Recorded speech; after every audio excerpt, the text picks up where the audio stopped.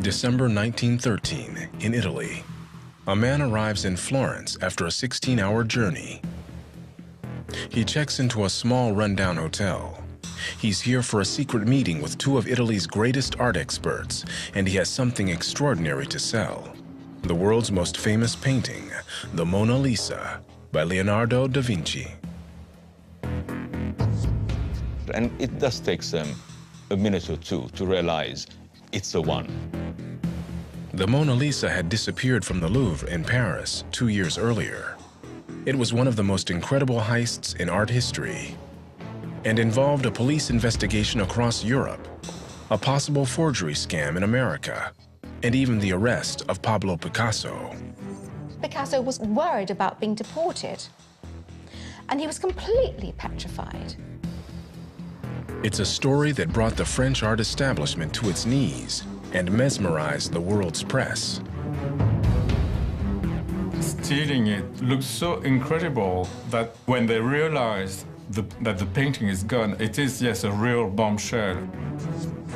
Not just the theft itself, but the astonishing discovery of who was finally responsible.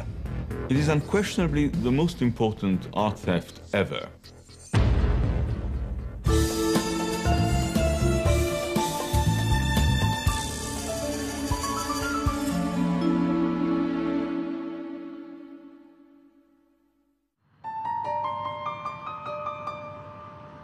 It's Tuesday, August 22nd, 1911, in Paris. The Louvre, France's greatest art museum, is just opening to the public. By 10 a.m., one of the first visitors to arrive is an artist named Louis Béroud. He's come to paint his own interpretation of the Mona Lisa by Leonardo da Vinci. Monsieur Béroud had the idea of uh, doing a painting representing a nice lady a young woman uh, redoing her hair in front of uh, um, the Mona Lisa. As Béroud turns to begin painting the most famous face in the Louvre, what he sees isn't Leonardo's 16th century masterpiece, but an empty space.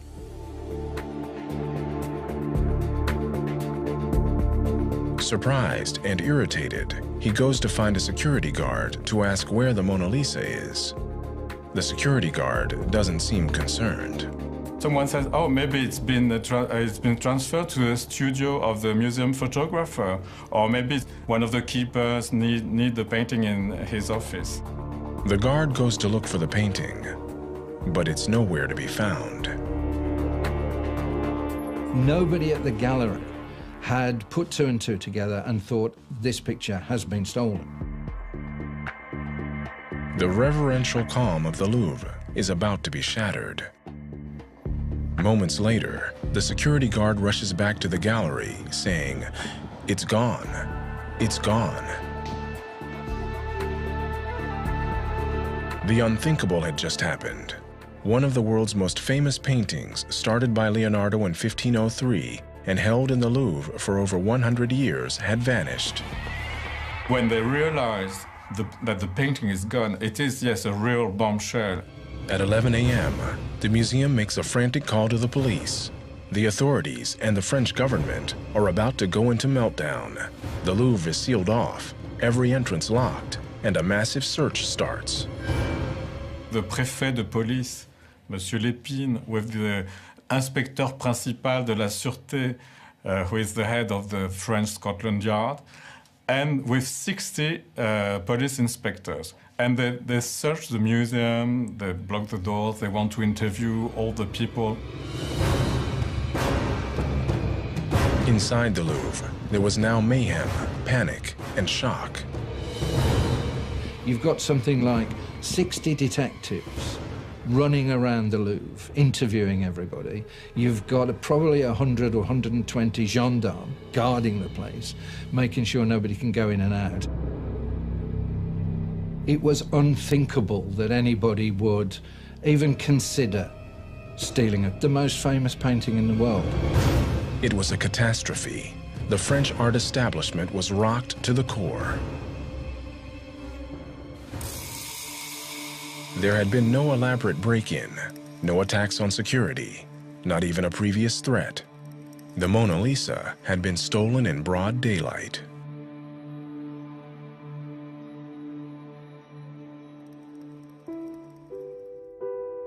By the early 1900s, the Louvre already housed one of the finest collection of art treasures anywhere in the world.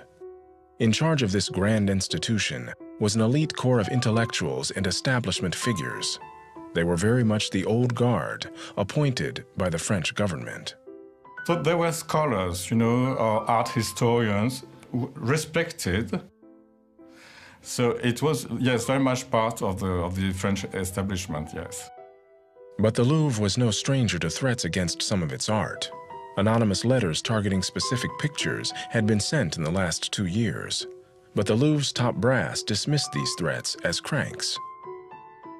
There were letters to the Austrian ambassador saying that a group of thieves were planning to steal it and so. I mean, none of this was, was true. And some minor thefts had been uh, done in the, in the Louvre, uh, statuettes, uh, antique statuettes, and, and so on. So they should have then tightened their security.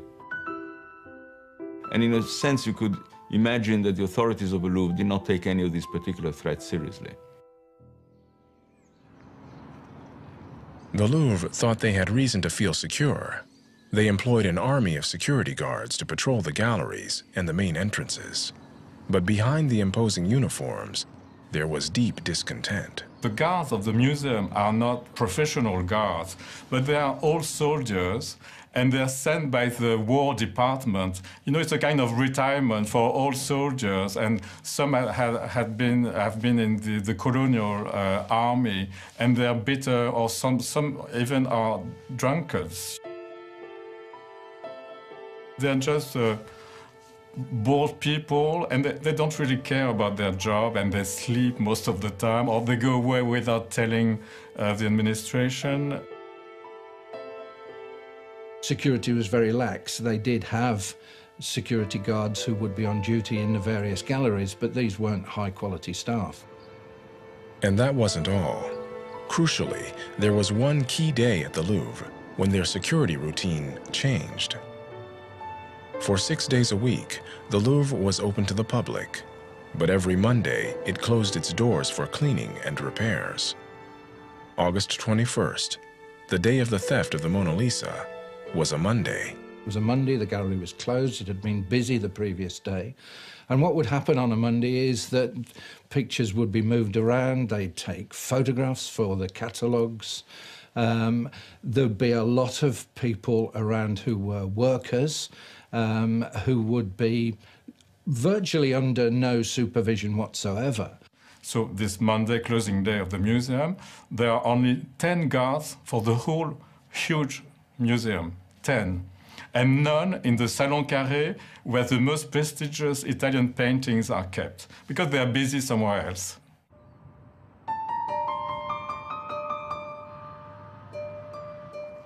At 6 a.m. that morning, Vincenzo Peruggia, a 30-year-old Italian carpenter, leaves his small flat near the Gare de l'Est. He'd been born in Italy, but moved to France to try to earn a better living.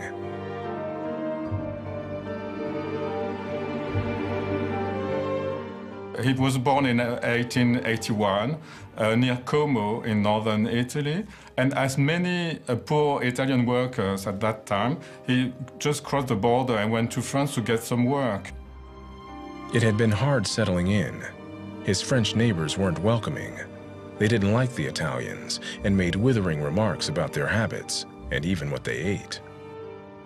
He's an Italian immigrant who has all the difficulties that immigrants have in foreign countries, speaking the language in a faltering uh, way, being um, often uh, abused, uh, called macaroni by the French because of his, of his origin. The French put-downs rankled Peruggia. At first, he struggled to find some work, but eventually his skills as a carpenter paid off handsomely. He got a, a, a, very significant job in the Louvre um, since he was part of a team of four persons uh, responsible for installing the glass coverings on the paintings between 1910 and 1911. So he actually handled the Mona Lisa with three of his colleagues uh, to install uh, the, the glass coverings.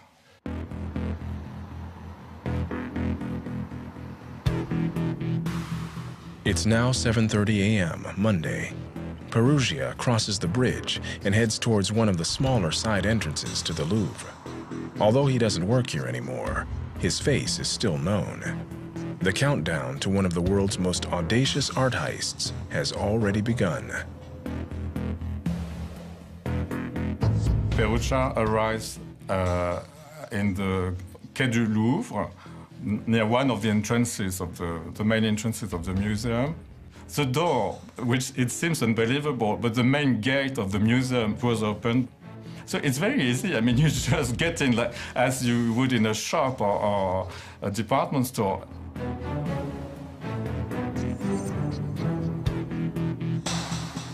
Peruggia, to all intents a worker in the Louvre, now heads towards the Salon Carré. The galleries are almost deserted. Peruggia knows the gallery. Peruggia has worked in the gallery. He knows that it's closed on a Monday. He knows that there are a lot of workers around. There's a lot of tradesmen. He knows that security is, is relatively lax on a Monday. And, and he's not going to be interrupted by members of the public who are going to be looking at the pictures. People are going to be doing other things. They're not going to be focusing particularly on the pictures. Peruggia now enters the Salon Carré. Of course, he'll be a bit tense. He will be nervous. But, but he, in, a, in another way, he's quite relaxed. He knows what he's doing. He knows exactly what he's doing.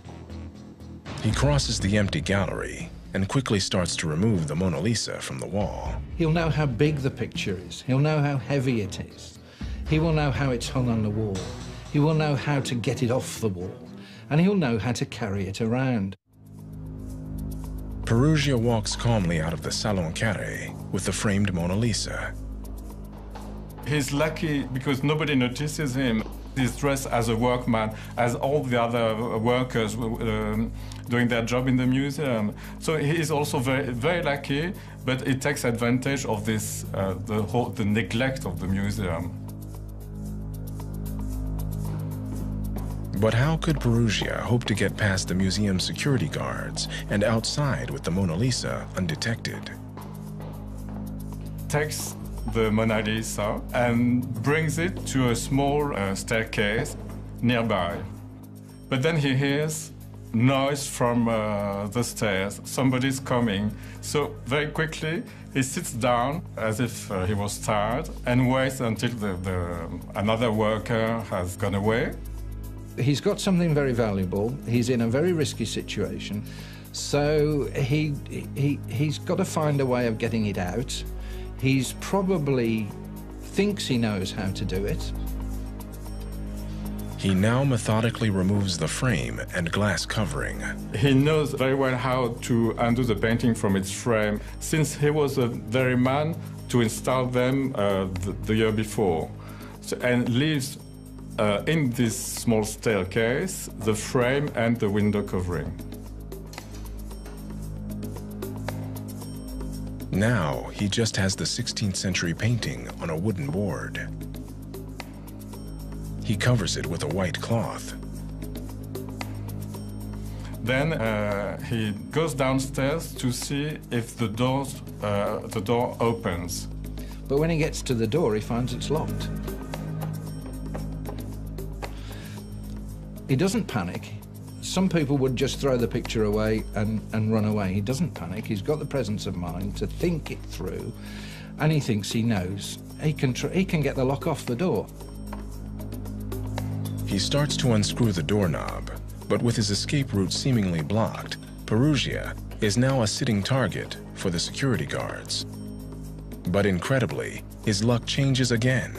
At that same moment, a plumber named Sauvé, who knows Peruggia, walks past. Again, he doesn't panic.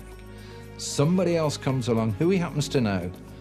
And in, in fairly casual conversation, he talks about some fool locking the door. And here is his former colleague says, oh, don't worry, I've got a key, and he lets him out. Now there's just one door left to get through. So uh, this gate called uh, Porte Le Fuel and the Day of the Theft, this is uh, the gate that uh, Peruggia uses uh, to get out, out of the museum. Um, there was a concierge, as in uh, any uh, building in Paris, a house in Paris, you know, a concierge, and you would ring a bell to, to get in, and then the concierge would pull a, a cord and, and let you in. Uh, uh, strangely, when Peruggia wants to get out of the Louvre, the door is ajar. So it doesn't, it doesn't even have to ask somebody to open it for him. So the door is open. Yes. So unbelievable. So he just walks It's, up. it's so easy.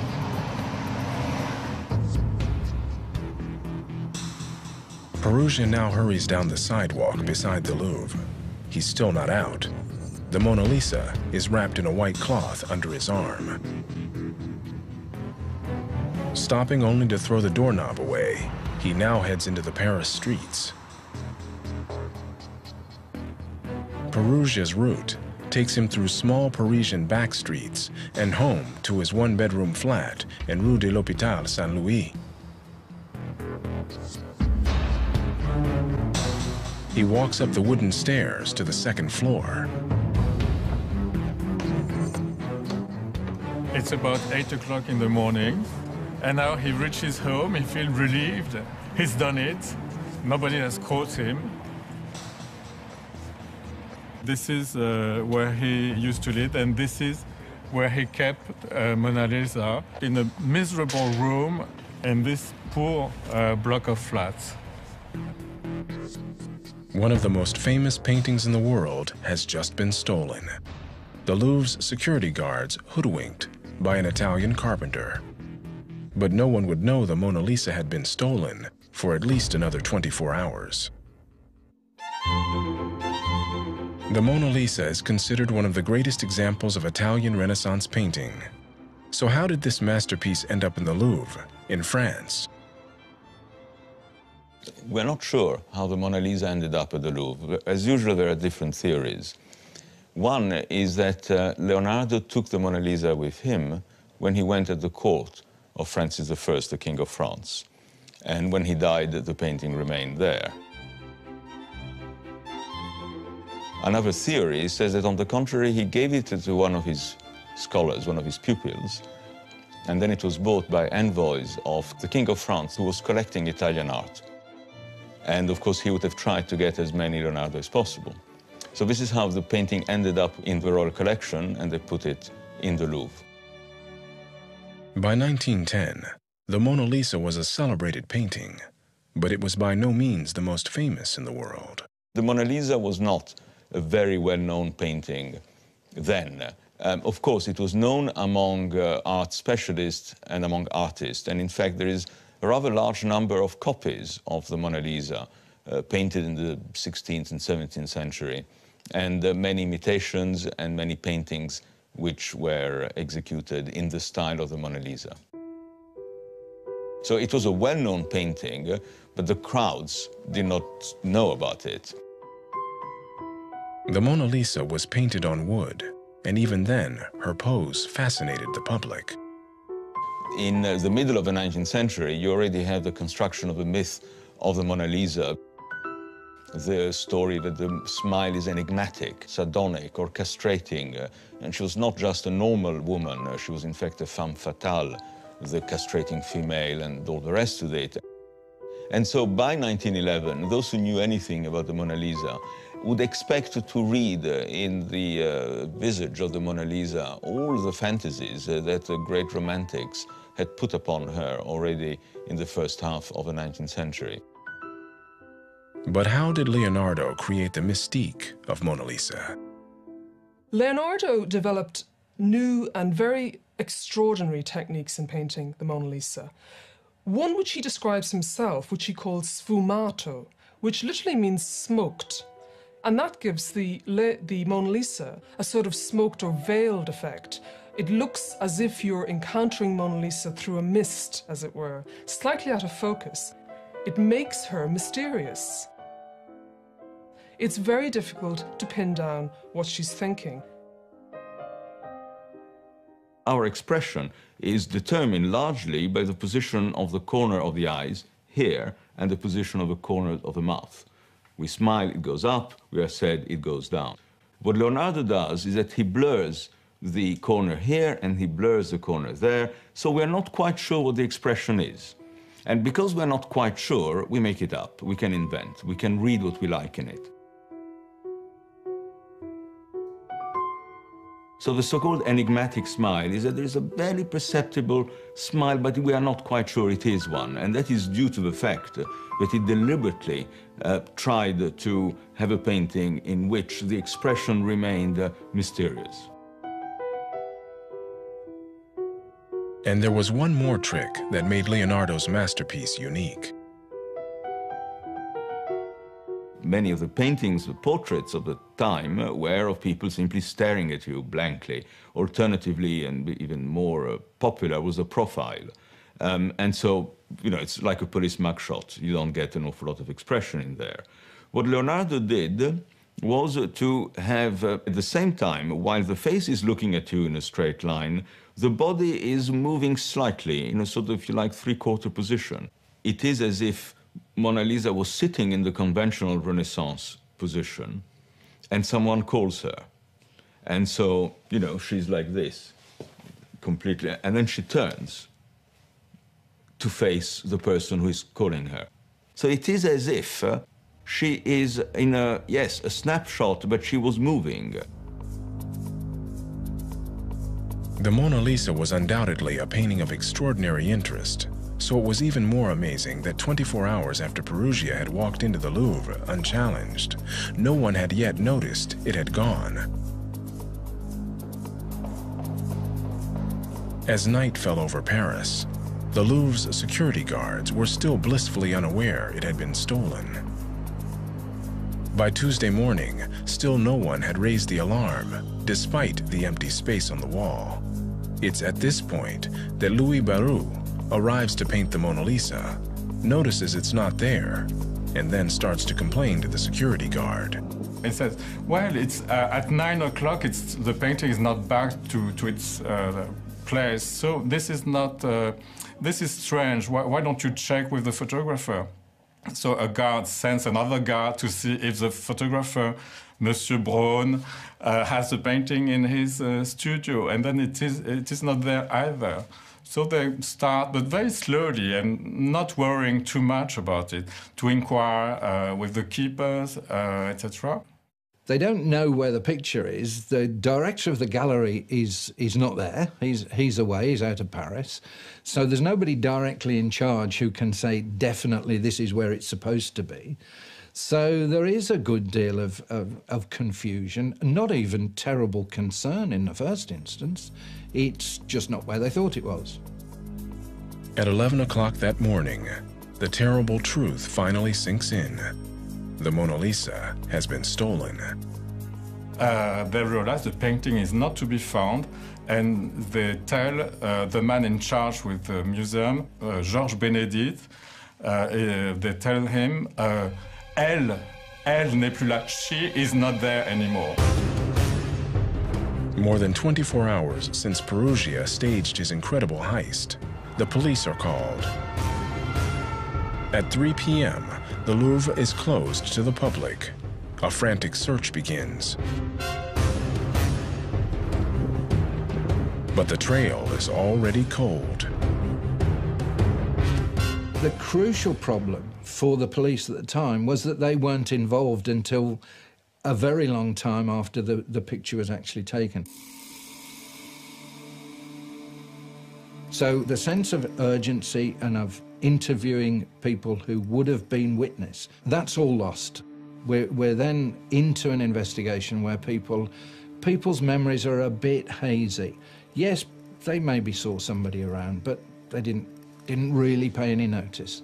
So that 24 hours is absolutely crucial. It's also crucial in the sense that he's gone. He, the, the picture's gone. Within hours, the police make a dramatic discovery. The frame and glass are found hidden on the staircase. By 5 p.m., the theft is headline news. The Louvre, now shut indefinitely, is left facing a public outcry and a monumental national disaster. They would have been completely horrified and in uh, very much alarmed for their reputation. In fact, uh, the director immediately resigned. He was on holiday at the time. Um, there was you know, an enormous amount of press coverage, especially by the popular press.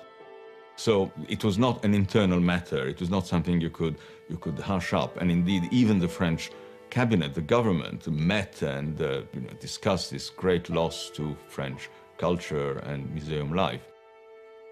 Traumatized, the museum clings to the hope that it might just be a stunt. Stealing it looks so incredible that to, to most people, I mean, it looked like a, a joke from somebody, maybe a journalist, would just then point out uh, the, how uh, negligent the administration of the museum was. But other theories come in thick and fast. They fear that uh, some maniac may have taken the paintings uh, to, to himself and, and might damage it or even destroy it. But Perugia had left one vital clue the frame and the glass casing on the stairs. In order to get the picture out of the gallery, he has to take it out of its case and out of its frame. And, and that's a bit risky. It's risky in, in the sense that it might damage the picture but it also means he's got to he's got to be out of sight while he does that. And he's got to he's physically got to get hold of it. So he is likely to leave some clues. And we do know that, it, that in actual fact he does leave a very clear identifiable thumbprint. The french police under huge public pressure now turn to the man they hoped had the skills to track down the thief alphonse bertillon a brilliant forensic scientist. Alphonse Bertillon was, was crucial, really, to the development of criminal records and, and systematic criminal records in France at the end of the 19th, beginning of the 20th century. He was absolutely central to the whole French system. French police, under Alphonse Bertillon, had just started pioneering a new technique in solving crimes. They were looking elsewhere the French had tended to use a system which essentially worked on very precise measurements of uh, people who were caught and convicted of, of criminal offences. And although they had fingerprint technology and accepted the, the, fingerprint evidence, this was regarded very much as secondary to the uh, what was called anthropomorphic measurements uh, that, that, that they preferred. Having worked at the Louvre, Peruggia was a potential suspect. What's more, he already had a police record. We know that he'd been arrested twice uh, in 1908 and then the year later. The first time he was drunk and, and um, tried to uh, rob a prostitute, and the other time he tried to steal pipes on a building work or something like that. I mean, it was really menial but he'd been arrested and sent to prison for a few days for these two things. His uh, criminal activities before the theft were pretty pathetic. I mean, he did try once to mug a prostitute, and she sort of smashed him back, and he was arrested and spent some time in, in jail. So, not the master criminal, which so many accounts of art theft um, enjoy describing. He was fingerprinted, and his records had been kept on file. But there was a crucial flaw in the way police did their fingerprinting in 1911. They would have been very sophisticated in the sense that they would have very precise measurements of the distance between your eyes, the the length of your forearm, the uh, the size of your hands, the size of your ears, and things of that nature. They would have had very precise records of tattoos, scars, and other marks but they would only have kept records of right hand fingerprints. They didn't keep full sets of fingerprints because that reflected the, the relative lack of importance that they, uh, that they gave to fingerprint identification. They've got his fingerprints on record. They find a fingerprint on the frame, but it's a left thumbprint. So the fingerprint, in a sense, is, is useless. Convinced it was an inside job, the police had now interviewed over 200 Louvre employees, but had gotten nowhere. Along the way, though, they'd made a terrible blunder. Incredibly, they had forgotten to interview the team of four workers who had been making the glass to protect the Mona Lisa and other paintings. Among them was Vincenzo Peruggia.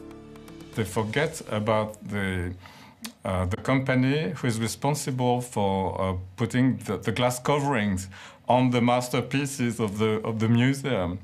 And this is a shame, really, because they, they've been told by, by the, one of the keepers of the museum that they should uh, check on the people responsible for the job. They, they just forget about it.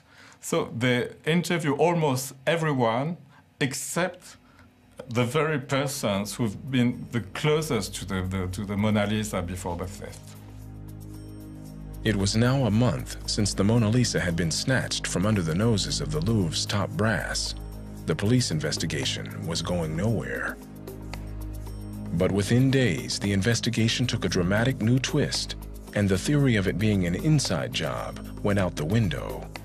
Two new names suddenly came to the police's attention they were anything but ordinary suspects. One was a poet, the other an up-and-coming Spanish artist who would in time change the face of modern art. Pablo Picasso was a young artist living in Paris at the time. He was yet to become world famous, but his work was highly regarded.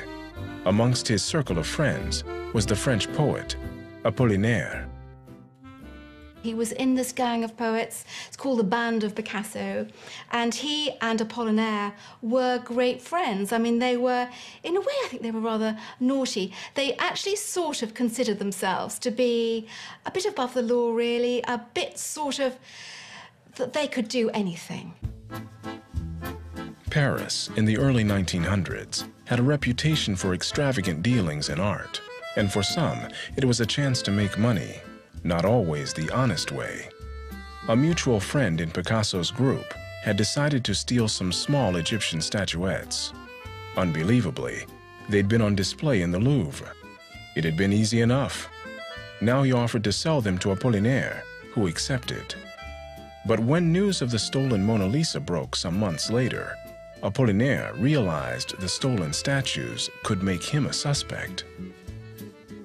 Apollinaire was terrified once the theft of the Mona Lisa uh, was revealed that he would be somehow implicated with the theft. But the trail of the stolen statues was about to get even more intriguing. Apollinaire had also offered one of the statuettes to Picasso, who knew nothing about them being stolen until now. He went to Picasso and said, I think I should just get rid of this statuette, throw them in the Seine. Picasso alarmed, said, no, you can't throw works of art in the, in the Seine. I mean, for God's sake, just, just take them to the police. Both of them were convinced the police in Paris would trace the statues back to them.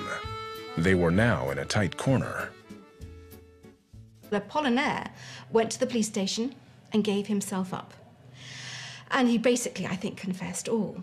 Now then, Picasso then went along to the police station and he to his great shame, he just completely um, pretended he didn't know Apollinaire. Apollinaire looked at him. He was in, hand, in handcuffs, and he was, he was absolutely a broken man. And Picasso just looked past him, and he said, I don't know who that man is. On September 11th, Picasso was questioned by the police. He protested his innocence. First of all, the whole thing had been a joke, but then this became to be very scary indeed. Remember, he was petrified of being deported, and he, um, I think it really did affect him. It was an astonishing turn of events, but it was clear neither of them had anything to do with the theft. The police investigation had to look elsewhere.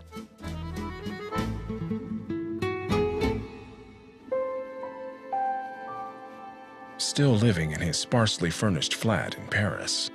Peruggia stuck to his normal daily routine. Normal, apart from one thing. The Mona Lisa was still headline news, and Peruggia was understandably nervous about keeping it in his flat all the time. But that wasn't the only reason. Peruggia now needed a favor from a friend. He knew another Italian on the same street. The Mona Lisa was about to move again. One of his friends called uh, Michele Lancelotti is also a neighbor. And since um, it seems that the, the Peruggia's room is not heated, so it's getting damp. and he's worried because this man is, you know, is very careful not, not to damage the painting. He's worried that uh, it could be damaged with the damp, so he asked Lancelotti to keep the painting in his room. So Lancelotti has nothing to do with the theft, but he actually kept the painting for maybe one month or two in his room. So we've gone from a position where he's the only person in the world who knows he's got it to a position where somebody else knows.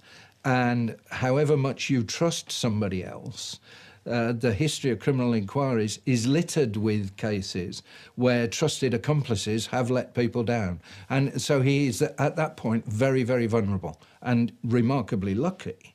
Um, given the hue and cry that there is around Paris at the time, uh, that his friend, who is a fellow Italian, probably shares some of his disdain or dislike of the French and either doesn't realise what he's got hanging on his wall or is is in the same sort of mindset as Peruggia and, and isn't, isn't really going to tell the French authorities anything anyway.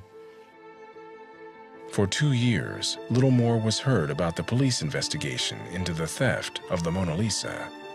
Vincenzo Peruggia kept a low profile, but he was still in Paris. We, we don't know much about him during these, uh, these years. Uh, at some stage, he leaves the company, uh, the glass company he was working for. He went on strike at some stage, and then we, we don't know much. No, we don't, we don't know anything about him. But then on the 29th of November, 1913, a letter postmarked in Paris arrived in Italy. It was addressed to a well-known Florence art dealer, Alfredo Geri, at Borgo Osterat, and intriguingly signed Leonardo. Geri era senz'altro uno dei più importanti antiquari. Geri was, without doubt, one of the most important antique dealers in Florence at the end of the 19th century and beginning of the 20th century. And he belonged to a very select group of art connoisseurs specializing in historical Italian paintings.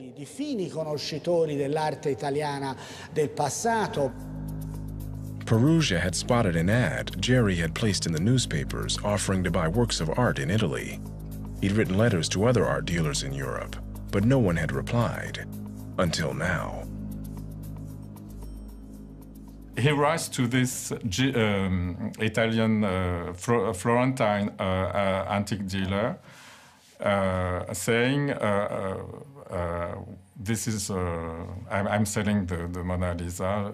He calls himself Leonardo. and the man is rather intrigued by this letter, think of maybe throwing it, uh, it away, but uh, mentions it to uh, the director of the Uffizi Museum. And the man says, just in case, answer this letter. Incredibly, the letter offered the return of the Mona Lisa for the Italian nation. No money was mentioned, but the letter writer said he was poor and needy. There was something about the letter, the story, it was worth having a look anyway. And maybe it was not the Mona Lisa, maybe it was another painting important. I mean, even a copy of the Mona Lisa in, the 17th century would be quite a remarkable find. So the, the instinct is, well, let, let's go and have a look. By return post, Leonardo is invited to come to Florence. At his flat in Paris, Peruggia takes the unframed Mona Lisa on wooden board and packs it into a trunk.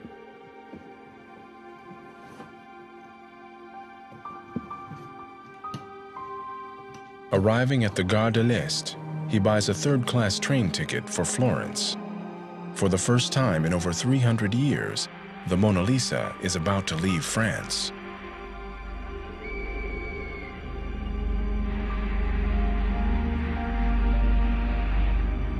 Packed into a battered trunk and vulnerable to even the slightest damage, Leonardo's masterpiece is about to endure her final indignity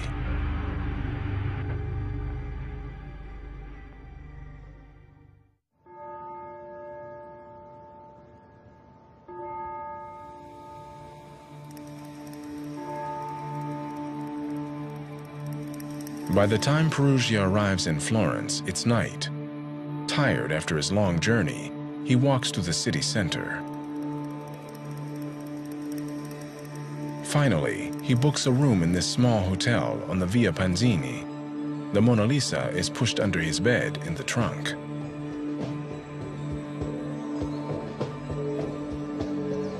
The next morning, Peruggia would have woken to the sound of the bells from the Duomo. The opportunity he's waited two years for is almost within his grasp. To steady his nerves, he walks through the center of Florence and across the Ponte Vecchio, pausing briefly to gather his thoughts. His meeting with Alfredo Geri and Poggi is just one hour away.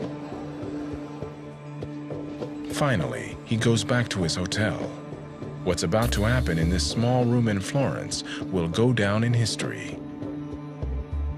So you can imagine Vincenzo Peruggia being in a rather poor um, hotel for poor people. And these two gentlemen, one is a famous art dealer, the other one is the curator of the Uffizi, the most important art gallery in Italy. And then they go to his uh, small room, a small hotel room, and under the bed there's the wooden box, and in the wooden box, personal belongings of uh, Peruggia and even a mandolina.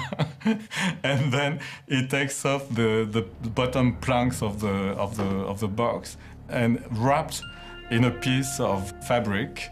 Uh, here is the Mona Lisa. And the, the two men know from this instant that this is the real one. It's, I mean, it's not a copy, it's not an imitation. This is the one. He shows them the painting everybody's been looking for. The painting has a very, very tiny craquelure, as the French call it, little cracklings, uh, uh, which is due to the oil painting uh, dried over the centuries. And they have pictures of it, a photograph. And this is like having the fingerprint of the painter. You cannot imitate uh, uh, over thousands and thousands of little crackles. And it does take them a minute or two to realize it's a one. Having established it's the real painting, they now lay a trap for Peruggia. So they convince Vincenzo that uh, they are going to bring back uh, the painting and put it in the Uffizi so that the Italian people can see their pride and joy once again and they uh, and they leave the hotel with uh, the uh, painting, only to be stopped by the concierge of the hotel, who suspects them of having stolen one of the artwork. If you can imagine the kind of artwork which would be in uh, the rooms there. They show the concierge that no, no, it's not, doesn't belong to the hotel. It's just this, and the concierge looks at it, obviously does not recognize the famous painting, and says, "Oh, that's, that's all right then," and off they go and they call the Carabinieri, who shortly afterwards arrest uh, the poor Vincenzo Peruggia. Peruggia is finally charged and sent to trial. But for many, what was truly astonishing wasn't just the theft itself. It was that the Mona Lisa, painted on wood, had survived without cover or protection in a shabby trunk for over two years.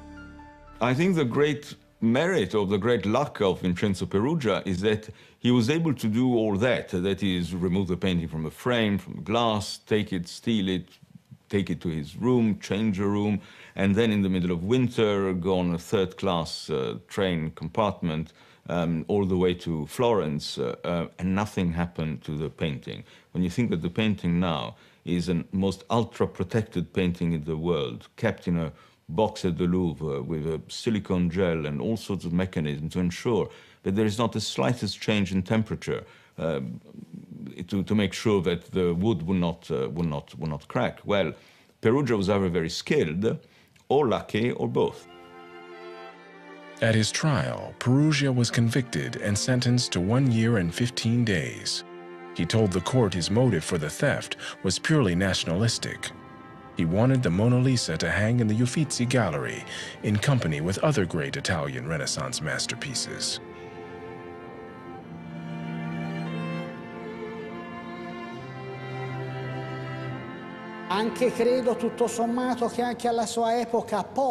Even at the time, I don't think people thought of him as a hero.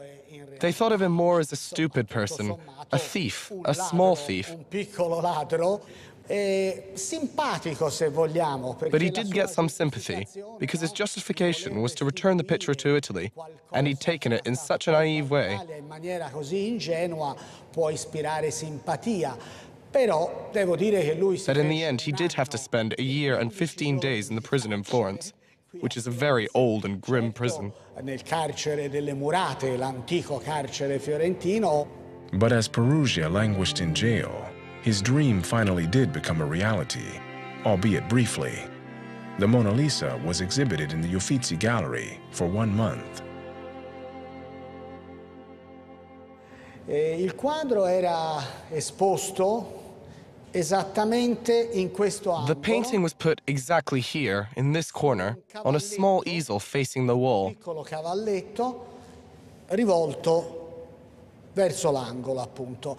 So the painting was here, and the line of people following the normal route through the gallery would end up here and be able to admire Leonardo's masterpiece.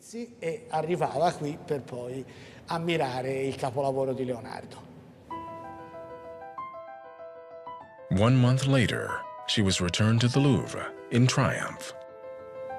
In realtà ehm, questa tristezza allora dovrebbe essere molto In a sense, the sadness at the loss of the Mona Lisa is not so great when you consider that there are a great many Italian works of art which remain in private collections today, which were taken from us during the Napoleonic era.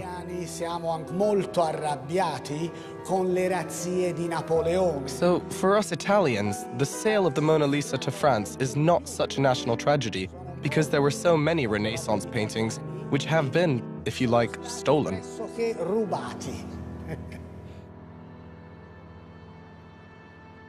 But that wasn't the end of the story.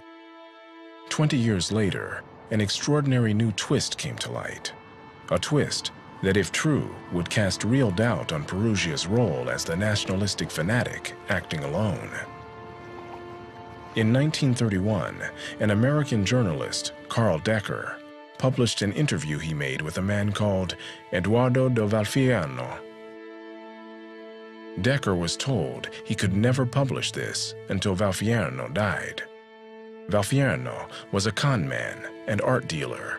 He aimed high and sold old Spanish masters to private wealthy clients. According to Decker, Valfierno had set up business with a talented art restorer called Yves Chaudron. Valfierno, ever the opportunist, had an idea to use Chaudron for his ultimate con, forging the Mona Lisa, but it would be a tough challenge. Well, Leonardo's um, method of painting and the method of painting that was employed during the Renaissance was very particular and very, actually very complicated and careful. And it would have taken him four to five years to master the actual craft of painting. Um, his technique would have been fairly innovative for the time, but certainly it would have been very careful and involved a, a high degree of preparation. Um, all of the pigments would have had to have been ground by hand using a pestle and mortar and then mixed with the medium, whether that was egg white, egg yolk, or oil. He would paint an area, let it dry, paint it with very, very thin uh, brushes, um, let it dry, and then paint again on top, building it up layer upon layer. Um, a lot of the beauty of the Mona Lisa and some of uh, Leonardo's other paintings depends on this painstakingly uh, slow technique which, uh, which, he, which he used. So it took him four years um, to paint the Mona Lisa. By 1910, Valfierno had asked Chaudron to paint another five copies of the Mona Lisa. Valfierno had himself been busy. He'd started to contact wealthy clients who might be interested in owning the world's greatest picture.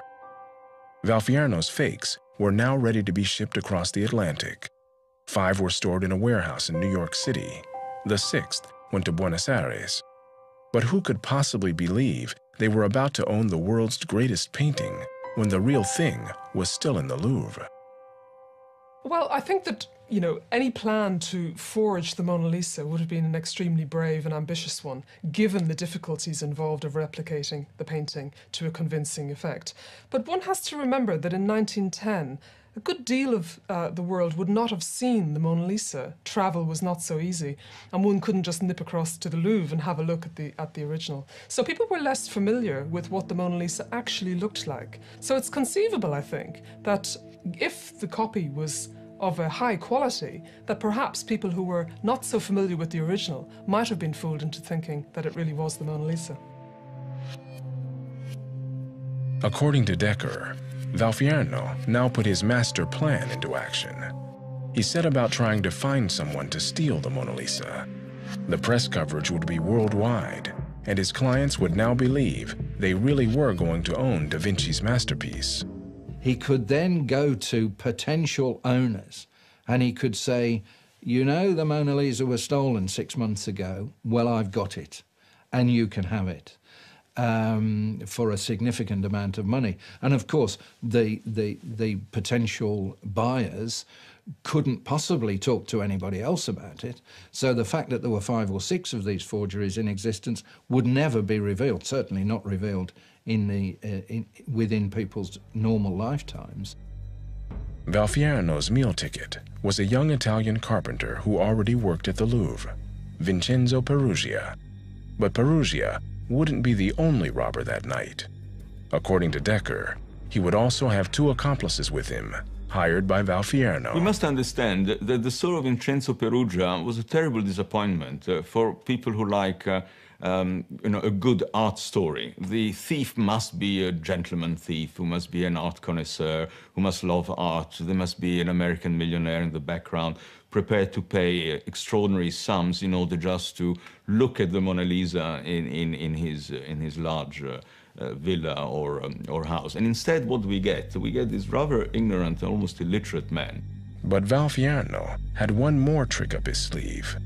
Once Peruggia had gone to Florence and tried to sell it in Italy, the Mona Lisa, of course, returned to the Louvre. Once the, the forgeries have been sold, even if the original is recovered, there is never any suspicion going to fall upon the, the person who sold the forgeries and uh, who, who was behind the original theft because that person can always go back to his buyers and say, well, of course, they can't admit that they've not got it back, so they had a copy made.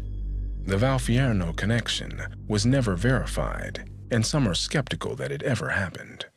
Well, one would need some kind of evidence that that has actually occurred. Now, it might have been difficult to find any evidence in 1915 or 1920, but by now, surely, the uh, copies which are in the vaults of these millionaires would have come out. And whenever someone says, I have a real Mona Lisa, it's in my attic, it's in my basement, and anyone has a look at it, it's pretty obvious that it doesn't look at all like a Renaissance painting. There's one very bizarre incident. It's a good one. Of course, it's not the slightest evidence for it. Valfierno died in 1931, and Decker's secret interview with the con man, known also as the Marquess, was published that same year. But what's never been disputed is Peruggia's role in possibly the greatest art heist of all time. Peruggia was released from prison and was welcomed back to his hometown in Italy, a hero. Two months later, it's, it's uh, First World War. He uh, fights in, in the war on the, in the Italian troops, and then after the war, uh, goes back to Paris and he died in the 20s, we don't exactly know when, uh, in the suburb of Paris, completely unknown and forgotten. But as it turned out, Peruggia was to have his last moment of fame. When he died, um, he had obituaries in all the Italian papers as the man who stole the Mona Lisa, which is not bad for a poor Italian immigrant. The theft of the Mona Lisa was an extraordinary worldwide event. But even more extraordinary was that it had been carried out successfully by a poor immigrant Italian carpenter who kept the most famous painting in the world by his bed for over two years. But it is an extraordinary story since uh, we know that the painting was already so famous. So uh, to be able to steal such a thing, I mean, it's a symbol of, uh, of uh, I don't know, of, of European culture disappearing suddenly and, and with the fear that it can be destroyed by a madman. So it's, I mean, it's really, uh, the story is unbelievable.